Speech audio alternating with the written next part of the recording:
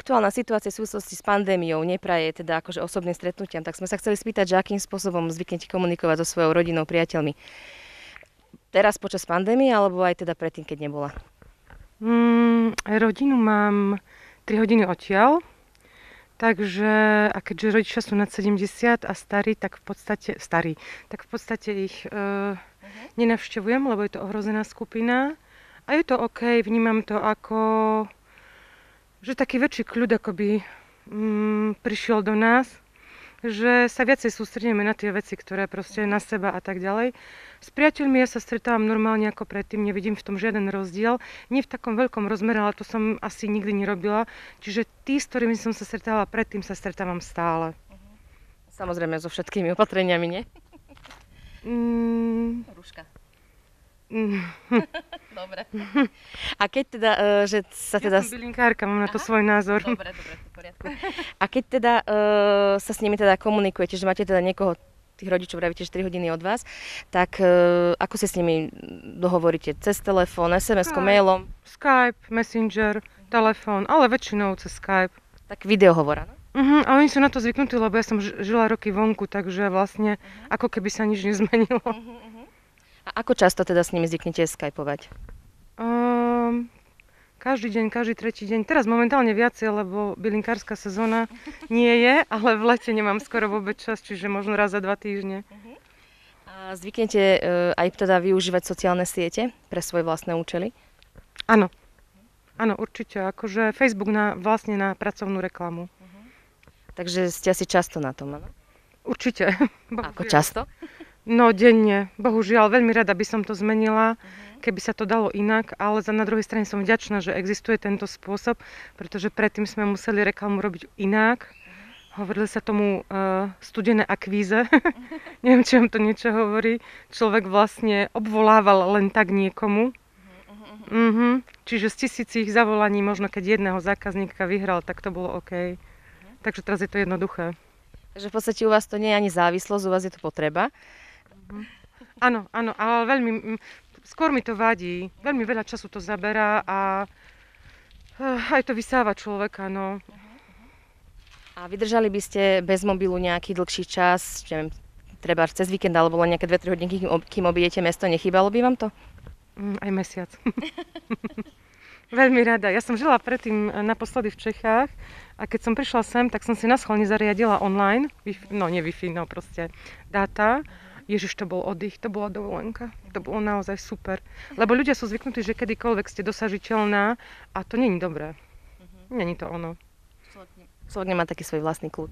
Hej, no snažím sa si to re- regulovať, ale zvedavosť je silnejšia. Keď vám to ťukne, tak chcete sa pozrieť. Ale učím sa teraz, že len v určitú hodinu. No zatiaľ sa mi to nedarí. Ako vy zvyknete komunikovať s ľuďmi, s ktorými sa teda nemôžete stretnúť? Akým spôsobom? Telefón, mobil? Pokiaľ je možnosť sa stretnúť s nimi, tak áno, stretnem sa. Pokiaľ nie, tak telefonicky. Pokiaľ je možnosť využiť internet, tak áno, internet. Aj video hovorí? Mm, veľmi málo. Takže skôr len tak telefón, hej? Skôr ten telefonický kontakt, po prípade SMS-ky cez Messenger. Ten hovor cez Messenger, videohovor, mm, ja, strašne to seká, tá, tá záležitosť ešte nie je tak dotiahnutá, aby bola plynulá, ako je telefonický hovor. Povieme to tak, ako to je. A ako často zvyknete? Tak podľa nutnosti. Skontaktujem sa s rodinou, skontaktujem sa s priateľmi, s kolegami, ako prichádza. A využívate teda akože nejako aj viac teda tieto sociálne siete?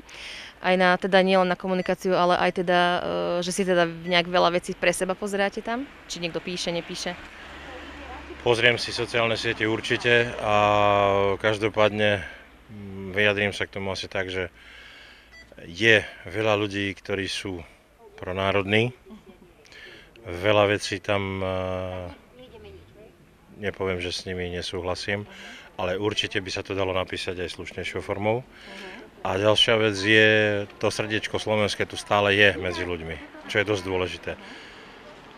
V prípade, že niečo potrebujem súrne vybavovať, tak ešte stále tých priateľov a tie kontakty tých ľudí mám. A aj nejako teda zvyknete zdieľať na sociálnych sieťach nejaké názory, teda aj statusy a takéto veci? Občas, áno že či ste nejak aj závislí od telefónu. Že si teda musíte stále sledovať, kto čo, čo sa tam deje teda na tých sociálnych sieťach, alebo dokážete teda bez toho telefónu byť? Uh, takto, doba si to vyžaduje momentálne v tejto situácii. Ja by som chcel aj bez neho byť, ale viem, že musím na ňom byť z toho dôvodu, že nejaké veci sú tam riešené ako sú platby.